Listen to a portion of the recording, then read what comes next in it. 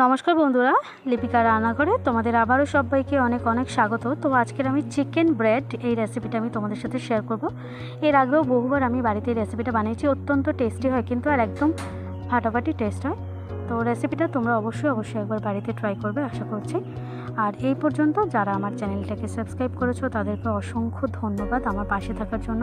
আমার অন্তর থেকে অনেক অনেক ভালোবাসা রইল তোমাদের জন্য। আর যারা আমার এই ভিডিওগুলো দেখছ মানে যারা আমার চ্যানেলে নতুন তাদেরকে অনেক রিকোয়েস্ট রইল। প্লিজ তোমরা আমার এই নতুন চ্যানেলটাকে একটু এগিয়ে নিয়ে যাওয়ার জন্য আমার চ্যানেলটাকে সাবস্ক্রাইব করে দেবে। তো দেখো, এখানে আমি চারশো গ্রাম পরিমাণ হাড় সমেত চিকেন নিয়েছি। আর এইবার আমি এর মধ্যে পরিমাণ মতো জল দিয়েছি। আর পরিমাণ মতো লবণ আর একটু গোলমরিচের গুঁড়ো দিয়ে দিলাম। দিয়ে এবার ওটাকে আমি সেদ্ধ করতে দিয়েছি। তো চিকেনটা ততক্ষণ বয়েল হতে থাক। আর এদিকে দেখো, আমি একটা চায়ের মানে বড় চায়ের কাপে এক কাপ পরিমাণ একদম ফুটন্ত গরম দুধ নিয়েছি, আর এর মধ্যে দিয়ে দিলাম দু টেবিল চামচ পরিমাণ ইস্ট ইস্টটা সবসময় একটু দেখে নেবে মানে বাজার থেকে কেনার সময় একটু ভালো ইস্ট নেওয়ার চেষ্টা করবে।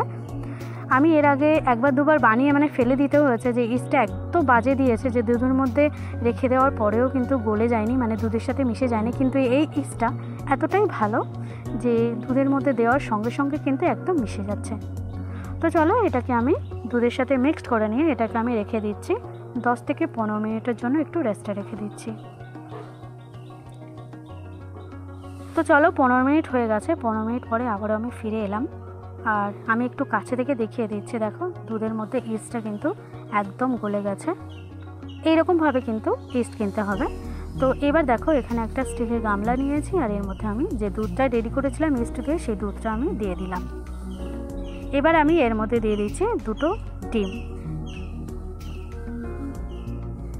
দুটো ডিম দিয়ে দিলাম। এবার আমি এর মধ্যে দিয়ে দেবো পরিমাণ মতো লবণ। লবণের পরিমাণটা একটু কম রাখবে, কারণ ব্রেডে বেশি লবণ দেওয়া উচিত নয়। অল্প সামান্য একটু লবণ দিয়ে দিলাম, আর এবার আমি এর মধ্যে দিয়ে দিচ্ছি দু টেবিল চামচ পরিমাণ পাউডার সুগার। তো গুঁড়ো চিনিটা এই জন্য দিচ্ছি, কারণ গোটা চিনি ওর সাথে মিশতে অনেকটা বেশি সময় লাগে, সেই জন্য একটু গুঁড়ো চিনি দেওয়ার চেষ্টা করবেন আর এরপর আমি দিয়ে দিলাম এক টেবিল চামচ পরিমাণ বাটার। তো সব কিছু দিয়ে আমি দুধটাকে ভালোভাবে একটু রেডি করে নিচ্ছি। এবার আমি এর মধ্যে অল্প অল্প করে ময়দা দিয়ে একটা চটচটে ডো বানিয়ে নেব। তো রুটি পরোটা খাওয়ার জন্য আমরা ঠিক যেরকম ডো বানাই, সেরকম হবে না। একটু চটচটে হবে কিন্তু ডোটা। তবেই কিন্তু এই রেসিপির জন্য বেস্ট হবে। তো দেখো, অল্প অল্প করে ময়দা দিয়ে দিয়ে এরকম তোমরা তোমাদের মেজারমেন্ট মতো মানে মেজারমেন্ট কাপে মাপ করে ঠিক নিয়ে নেবে। তো এই রকম একটা, দেখেই বুঝতে পারছ কীরকম চটচটে ডো হবে। দেখো হাতের মধ্যে আমি লেগে যাচ্ছে, এইরকম একটা কিন্তু ডো বানিয়ে নিতে হবে। একবার হাতটা একটু আমি ধুয়ে নিই প্রথমে, তারপরে এর মধ্যে হাতের মধ্যে অল্প অল্প করে একটু সামান্য তেল দেব। দেখো, তেল দিয়ে দিয়ে এবার আমি এই ডোটা রেডি করব এবার কিন্তু এটা কিন্তু একদম পাত্রের গা ছেড়ে দেবে। তো এইভাবে কিন্তু ডোটা নরম তুলতুলে করে রেডি করে নিতে হবে। তো চলো ডোটা আমি ভালোভাবে একটু রেডি করে নিই। একটু ভালোভাবে মাখিয়ে নিতে হবে মানে বেশ কিছুক্ষণ ধরে দশ থেকে পনেরো মিনিট মতো সময় দিয়ে দিয়ে এরকম ডোটা একটু রেডি করে নিলে খুবই ভালো হয়। তো দেখো, খুব সুন্দরভাবে দেখতে পাচ্ছ, ডোটা কিন্তু রেডি করা হয়ে গেছে। এইবার আমি কি করব, এটাকে আমি আধা ঘণ্টার মতো কিন্তু একটু রেখে দেব। তো এখন তো এমনিতেই খুবই গরম পড়েছে, এটা কিন্তু খুব কম সময়ের মধ্যে কিন্তু একদম ফুলে ফেপে যাবে। তো একটু হাত দিয়ে আমি সেট করে নিচ্ছি আর তারপর এরকম একটা জায়গার মধ্যে রেখে দিচ্ছি পাত্রের মধ্যে। তোমরা যে কোনো একটা গামলার মধ্যে রেখে ওপর থেকে একটু ঢাকা দিয়ে দিলেই হবে, দিয়ে একটা যে কোনো সাইডে রেখে দেবে। তো চলো এটাকে ঢাকা দিয়ে আমি রেখে দিচ্ছি আধা ঘণ্টার জন্য। এদিকে দেখো চিকেনটা কিন্তু আমার একেবারে সেদ্ধ হয়ে গেছে। এইবার আমি চিকেনগুলোকে মানে চিকেনের যে স্টক থেকে আমি কিন্তু চিকেনগুলোকে আলাদা করে নেব। তো চলো একটা ছাঁকনির সাহায্যে চিকেনগুলোকে আমি তুলে নিচ্ছি। আর এই চিকেনগুলোকে কিন্তু এবার আমি হাত দিয়ে দিয়ে একটু ছাড়িয়ে ছাড়িয়ে দেব। তো এই রকমভাবে চিকেনগুলোকে কিন্তু রেডি করে নিতে হবে। হাড়গুলোকে বাদ দিয়ে দেবো মানে চিকেন বোনস যেগুলো আছে সেগুলোকে একদম বাদ দিয়ে দেবো। আর চিকেন মানে যেগুলো বোনলেস সেগুলোকে এভাবে রেডি করে নেব। এবার আমি এর মধ্যে দিয়ে দিলাম একটা কড়া বসিয়ে দিয়েছি, কড়ার কড়ার মধ্যে দিয়ে দিলাম দু টেবিল চামচ পরিমাণ সাদা তেল। তেলটাকে হাই ফ্লেমে একটু গরম করে নিতেই এর মধ্যে আমি দিয়ে দিলাম দুটো মিডিয়াম সাইজের পেঁয়াজ। একটু মোটা মোটা করে লম্বা লম্বা করে কেটে নিয়েছি। তো সেই পেঁয়াজটা আমি এর মধ্যে দিয়ে দিলাম। পেঁয়াজটা দিয়ে হালকা একটু নাড়াচাড়া করে নেব, এক দু মিনিটের মতো।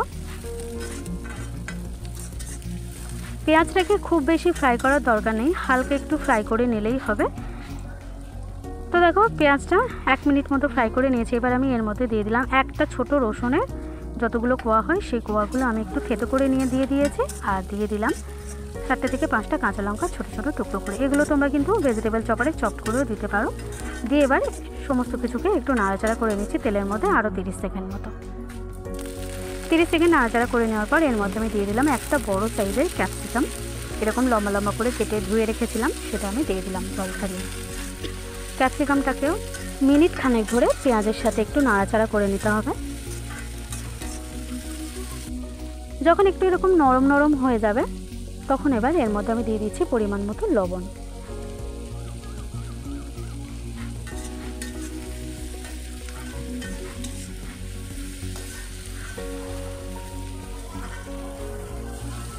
তো দেখো, লবণটা দেওয়ার সঙ্গে সঙ্গে কিন্তু সমস্ত যে ভেজিটেবলটা কিন্তু একদম নরম নরম হয়ে গেছে। এবার আমি এর মধ্যে দিয়ে দিলাম যে চিকেনটা রেডি করে নিয়েছিলাম, সেই চিকেনটা আমি এর মধ্যে দিয়ে দিলাম। চিকেনটাকে পেঁয়াজ, ক্যাপসিকামের সাথে ভালো করে একটু মিশিয়ে নিতে হবে প্রথমে, এক থেকে দু মিনিট মতো। এবার এর মধ্যে দিয়ে দিলাম এক টেবিল চামচের মতো ব্ল্যাক পেপার পাউডার মানে গোলমরিচের গুঁড়ো।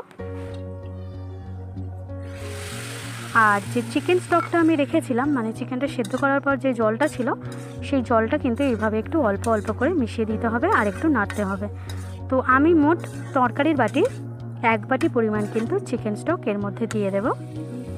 প্রথমে আমি অল্প একটু দিয়ে নাড়াচাড়া করে নিয়েছি, তারপরে অল্প অল্প করে এভাবে চিকেন স্টকটা আমি দিয়ে দিচ্ছি তো তরকারি বাটির এক বাটি দিয়ে দিয়েছি চিকেন স্টক বাদ বাকিটা আমি রেখে দিয়েছি, অন্য কোনো রান্নায় ব্যবহার করে নেব।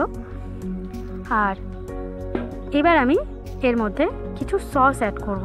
তো তার জন্য এখানে আমি দিয়ে দিচ্ছি চায়ের কাপে, ছোটো চায়ের কাপের হাফ কাপ পরিমাণ টমেটো সস। দিয়ে দেব তিন টেবিল চামচ মতো এখানে হচ্ছে রেড চিলি সস দিয়ে দিচ্ছি দু টেবিল চামচের মতো ডার্ক সয়া সস দিয়ে দিচ্ছি দু টেবিল চামচ কিন্তু ভিনিগার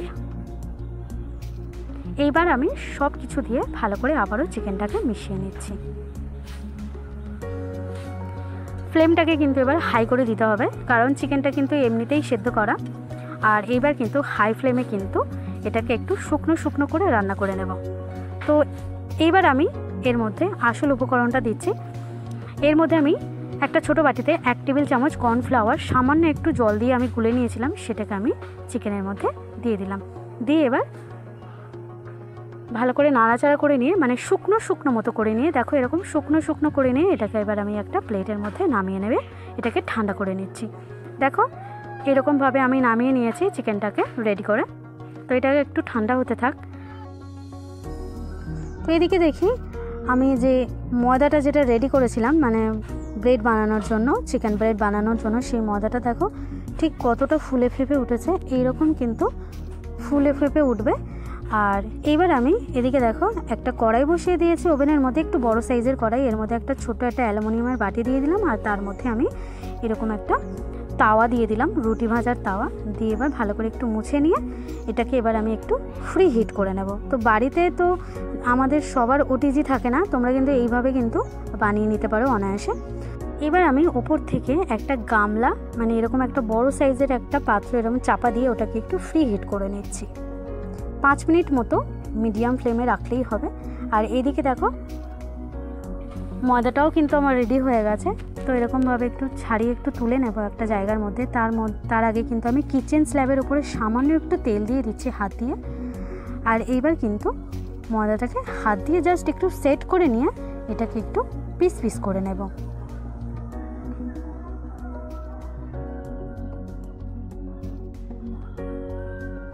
যদি অসুবিধা হয়, হাতের মধ্যে বাটার বা তেল এরকম লাগিয়ে নেওয়া যেতে পারে। এবার একটা ছুরি দিয়ে ময়দাটাকে মানে ময়দার ডোটাকে প্রথমে দুভাগ করে নিলাম, আর তারপরে একটা ভাগ থেকে আমি মোট চারটে ডো কেটে নেব। একটু বড় বড় সাইজের রাখব।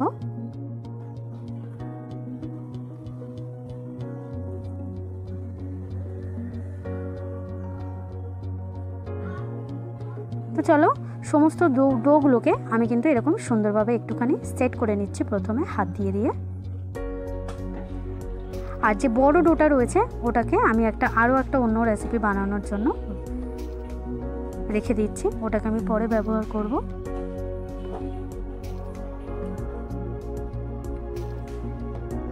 এইবার দেখো, একটা লেচি নিয়ে আমি এরকম একটু ময়দা ছড়িয়ে ছড়িয়ে রেক্ট্যাঙ্গেল শেপে এরকম একটু বানিয়ে নিয়েছি। তো প্রথমটা একটু স্কিপ করে গেছি, আমি পরেরটা দেখিয়ে দিচ্ছি, ঠিক কীরকমভাবে বেলে নিয়েছিলাম। আর এইভাবেই কিন্তু আমি সমস্ত চিকেনের ফিলিংটা দিয়ে আমি সমস্ত ব্রেডগুলোকে কিন্তু রেডি করে নেব। তো তোমরাও এরকমভাবে রেডি করে নিও। আর আমি কথা দিচ্ছি, একবার তোমরা এই রেসিপিটা ট্রাই করবে। বাচ্চা থেকে বড় কিন্তু সবার ভীষণ ভীষণ ভালো লাগবে খেতে। আর অনায়াসে কিন্তু খুব হেলদি একটা স্ন্যাক্স বা ব্রেকফাস্ট রেসিপি তোমরা কিন্তু বাড়িতে অনায়াসে বানিয়ে ফেলতে পারবে। তো দেখো, এইভাবে কিন্তু আমি সমস্ত চিকেন ব্রেডগুলো কিন্তু রেডি করে নিচ্ছি।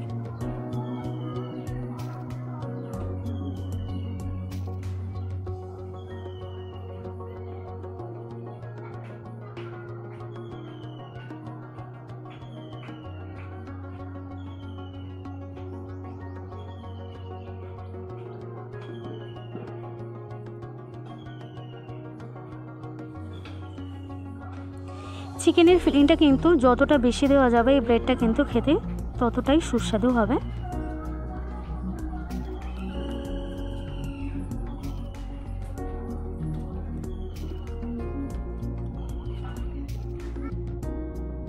তো চলো ওদিকে চার পিস ব্রেড আমি চিকেনের ফিলিং বড় রেডি করে নিয়েছিলাম। আর এইবার আমি যে তাওয়াটা গরম করে নিয়েছিলাম, ওর মধ্যে কিন্তু আমি একটু বাটার ব্রাশ করে নিয়েছি। এবার আমি যে ব্রেডগুলো রেডি করেছিলাম ফিলিং বড়ে সেই ব্রেডগুলো আমি এর মধ্যে দিয়ে দিলাম। দিয়ে আঁচটাকে কিন্তু এবার একদম লো ফ্লেমে করে দিতে হবে। আর এইভাবে ঢাকা দিয়ে কিন্তু প্রায় প্রথমে কুড়ি মিনিট মতো এটাকে রান্না করে নিতে হবে। আর কুড়ি মিনিট পরে আমি এরকম ঢাকাটা খুলে নিয়েছি। আর ওপর থেকে ছোটো একটা চামচের সাহায্যে একটু বাটার এরকমভাবে আমি এর মধ্যে দিয়ে দিচ্ছি। বাটারটা এটা যেহেতু গরম আছে এখনও সেই বাটারটা দেওয়ার সাথে সাথে এরকম চারিদিকে মেল্ট হয়ে যাবে। তোমরা যদি সিলিকনের যদি কোনো ব্রাশ থাকে মানে অয়েল ব্রাশ সেই ব্রাশ দিয়েও কিন্তু খুব সহজে কিন্তু বাটারগুলো লাগিয়ে দেওয়া যায়। আমার নেই, সেই জন্য আমি এরকম চামচ দিয়ে দিয়ে করছি। তো বাটারটা লাগিয়ে দেওয়ার পর আবারও এটাকে ঢাকা দিয়ে রেখে দেবো আধা ঘণ্টার মতো। আধা ঘণ্টা এরকমভাবে হতে থাক।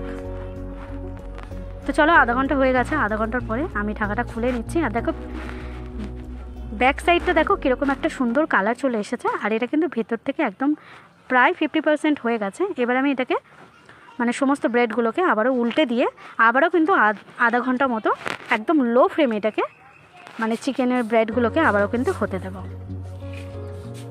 তো মোট এক ঘণ্টা পনেরো মিনিট মতো লেগেছে কিন্তু এই চিকেনের ব্রেডগুলো রেডি করে নিতে। আর এবার দেখো যখন এরকম কালার চলে এসেছে মানে এটা কিন্তু একদম রেডি হয়ে গেছে। এবার আঁচ বন্ধ করে এটাকে ঢাকা দিয়ে রেখে দিয়েছে যতক্ষণ না ঠান্ডা হচ্ছে। তো ব্যাস, ঠান্ডা হয়ে যাওয়ার পরে এটাকে আমি প্লেটের মধ্যে সার্ভ করে নিচ্ছি। টোটাল এক ঘণ্টা পনেরো মিনিট মতো লেগেছে। হয়তো একটু সময় লেগেছে, কিন্তু বাজারে কিনে খাওয়ার থেকে এরকম বাড়িতে কিন্তু তোমরা বাচ্চাদেরকে কিংবা বড়োদেরকে এরকম অনায়াসে এরকম একটা সুন্দর হেলদি রেসিপি কিন্তু তাদেরকে উপহার দিতে পারো। তো চলো, আশা করছি আমার এই রেসিপিটাও তোমাদের সবার খুব ভালো লেগেছে। আর যদি ভালো লেগে থাকে তাহলে অবশ্যই অবশ্যই করে আমার চ্যানেলটাকে একটু সাবস্ক্রাইব করবে, আশা করছি।